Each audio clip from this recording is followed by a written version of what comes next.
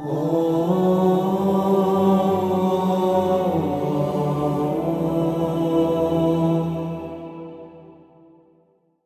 الله الرحمن الرحيم. ووصى بها إبراهيم بنيه ويعقوب يا بني إن الله اصطفى لكم الدين فلا تموتن إلا وأنتم مسلمون. أراد النبي إبراهيم عليه وعلى نبينا وآله أفضل الصلاة والسلام أن يستمر دينه من بعده وكان ذلك لاهتمامه بدين الله تبارك وتعالى ولذا وصى بها بنيه ووصى بها يعني بالملة والطريقة التي كانت لإبراهيم عليه السلام ومنها التسليم لرب العالمين ووصى بها إبراهيم بنيه يعني وصى أولاده. طبعا دعوة النبي إبراهيم صلوات الله عليه كانت دعوة عامة ولكن خص بنيه بالذكر للإشارة إلى لزوم دعوة الأهل بصورة خاصة إلى الحق.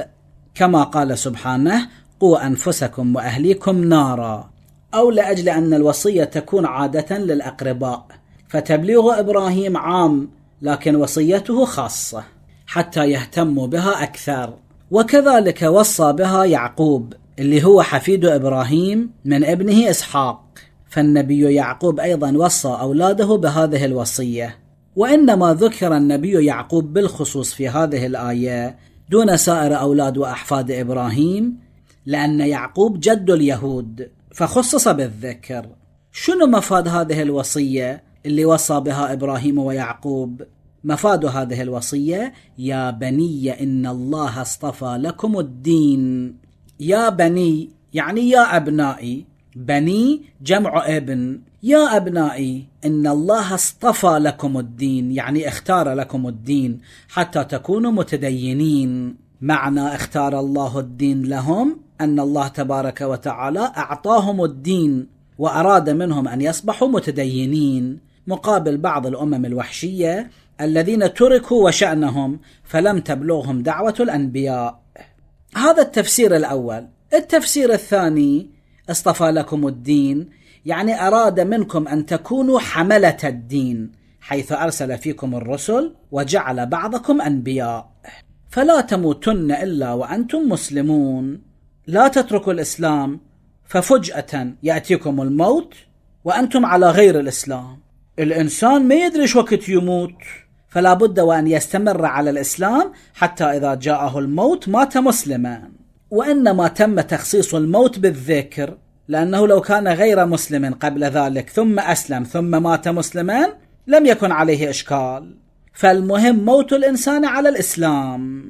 وفي الحديث عن الإمام الباقر عليه السلام في تأويل هذه الآية الكريمة ووصى بها إبراهيم بنيه ويعقوب يا بني إن الله اصطفى لكم الدين فلا تموتن إلا وأنتم مسلمون قال بولاية علي. أم كنتم شهداء إذ حضر يعقوب الموت إذ قال لبنيه ما تعبدون من بعدي؟ قالوا نعبد إلهك وإله آبائك إبراهيم وإسماعيل وإسحاق إلها واحدا ونحن له مسلمون.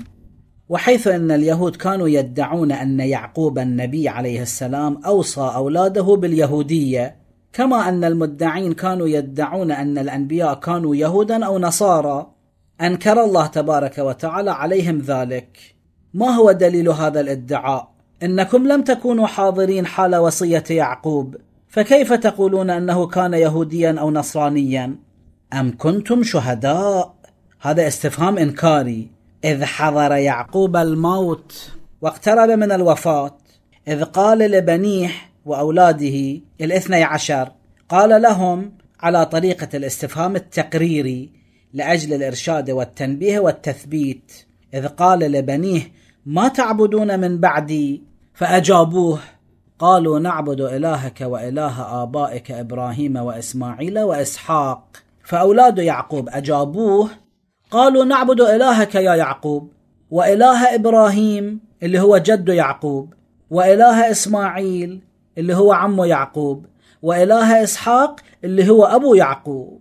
وتقديم العم إسماعيل على الأب إسحاق لأنه كان الأكبر سنا والأعلى منزله وسمي العم أبا من باب التغليب ولأن العرب تسمي العم أبا والخالة أما قالوا نعبد إلهك وإله آبائك إبراهيم وإسماعيل وإسحاق إلها واحدا بغير شريك. هذه عقيدتنا ونحن له مسلمون. خاضعون منقادون لأن معنى الإسلام التسليم لله في كل أوامره ونواهيه.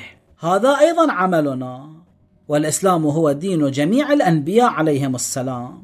فإذا الله تبارك وتعالى ينفي أن يكون دين الأنبياء اليهودية أو النصرانية المقصود من النافي اليهودية والنصرانية بالمعنى المتداول عند أهل الكتاب.